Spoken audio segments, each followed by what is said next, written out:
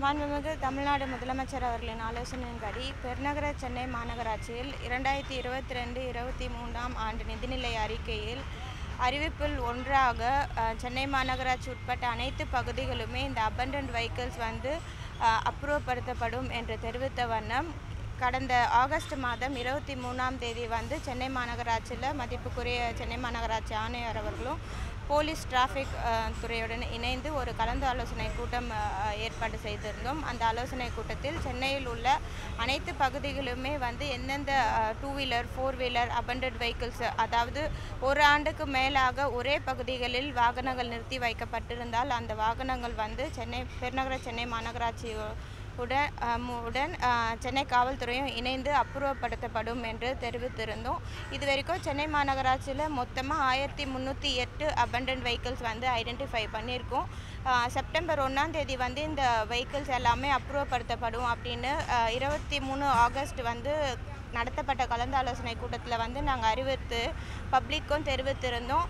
சில பப்ளிக் வந்து இந்த செய்தியை அறிந்து அவங்களே வந்து சில பகுதிகள்லேருந்து அவங்களோட வாகனங்களை வந்து எடுத்திருக்காங்க. சில பகுதிகளில் வந்து பத்து ஆண்டு காலமாக ஐந்து ஆண்டு காலமாக எடுக்காத வாகனங்கள்லாம் பல இடங்களில் வந்து இன்னமும் இருக்குது ஸோ அந்த மாதிரி வாகனங்களெல்லாம் இன்னைக்கு செப்டம்பர் ஒன்றாம் தேதி அப்புறப்படுத்துவோம் அப்படின்ற தெரிவித்த வண்ணம் இன்று அந்த பணிகளை வந்து துவங்கி இருக்கிறோம். சென்னையில் ஒவ்வொரு இடத்துலையுமே இந்த பணிகள் மேற்கொள்ளப்பட்டு வருகிறது. இன்று எக்மோருக்கு உட்பட்ட அறுபத்தி ஓராவது வார்டில் வந்து நான் நானும் மதிப்புக்குரிய ஆணையர் அவர்களும் நேரில் வந்து ஆய்வு மேற்கொண்டிருக்கோம். இந்த அபண்டன்ட் வெஹிக்கிள்ஸ்லாம் எப்படி கிளியர் பண்ணுறோன்ட்டு இப்போ நாங்கள் வந்துட்டு இங்கே ஒரு அஞ்சு வாகனங்கள் எடுத்தாங்க. அதில் இரண்டு வாகனங்கள் வந்து கோர்ட் கேஸில் இருக்குது. பத்தாண்டு காலமாக வந்து அந்த வாகனங்கள் வந்து இங்கே தான் இருக்குது அப்படின்றத வந்து இங்கே இருக்கக்கூடிய பொதுமக்கள் வந்து தெரிவித்திருந்தாங்க.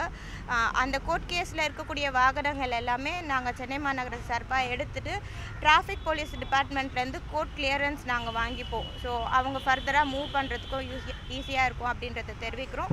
இப்படி கோர்ட் கேஸ் இல்லாமல் பப்ளிக்கும் வந்து இது எங்களுடைய வாகனம் அப்படின்னு எதுவுமே தெரிவிக்காமல் இருக்கக்கூடிய வாகனங்கள் எல்லாம் ஒரு குறிப்பிட்ட காலத்துக்கு பிறகு எல்லாமே நாங்கள் ஏலத்துக்கு விடுவோம். இது ஏற்கனவே இரண்டாயிரத்தி பத்தொம்போதில் நடைபெற்றது. இதை திருப்பி நாங்கள் நடைமுறைக்கு கொண்டு வந்திருக்கிறோம்.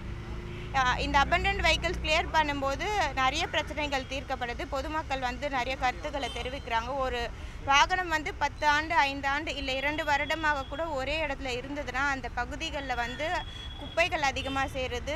மழை கொஞ்சம் பெஞ்சால் கூட அந்த பகுதியில் தண்ணி நிற்குது கொசு உற்பத்தி ஆக வாய்ப்புகள் அதிகம் இருக்குது ஸோ இந்த மாதிரி பிரச்சனைகள் எல்லாம் கூட நம்ம கிளியர் பண்ணலாம். அதே போல் ஒவ்வொரு பகுதிகளிலும் அபண்டன்ட் வெஹிக்கிள்ஸ் கிளியர் பண்ணும்போது டிராஃபிக் கண்ட்ரோல் ஆகும். போக்குவரத்து நெரிசல் எல்லாமே கம்மியாகும் அப்படின்ற ஒரு முன்னெடுப்பில் சென்னை மாநகராட்சி சார்பாக இதை நாங்கள் இன்னைக்கு தொடங்கியிருக்கிறோம்.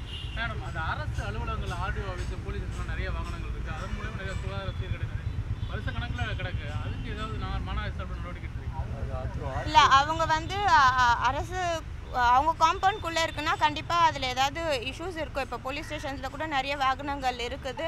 அவங்க எல்லாருமே கேசஸில் இருக்கோ இல்லை பப்ளிக் வந்து கிளைம் பண்ணாமல் இருப்பாங்க இல்லை லைசன்ஸுக்காக பிடிச்சிருக்கிற வாகனங்களாக இருக்கலாம். ஸோ அந்த மாதிரி இருக்கவங்க கூட பப்ளிக் வந்து தெரிவித்தாங்கன்னா அதுக்கு ப்ராப்பராக என்ன அவங்க ஃபைன் பே பண்ணணுமோ இல்லை என்ன ப்ரொசீஜர் இருக்கோ அதை பண்ணிவிட்டு அவங்களோட வாகனங்கள் வந்து அவங்க எடுத்துகிட்டு போகலாம்.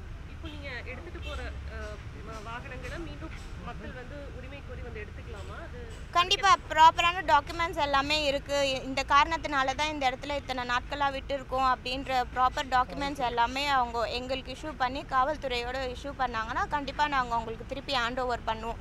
இப்போ எடுக்கக்கூடிய வாகனங்கள் எல்லாமே பள்ளிக்கரையில் ஏற்கனவே ஒரு டம்பிங் கிரவுண்ட் வந்து பயோமைனிங் ப்ராசஸ் பண்ணி பத்து ஏக்கர் நிலம் வந்து இப்போ ஐந்து ஏக்கர் நிலம் வந்து இருக்குது அந்த ஐந்து ஏக்கர் நிலத்தில் தான் வந்து இந்த வாகனம் எல்லாமே அப்ரூவ் படுத்த இருக்கும்.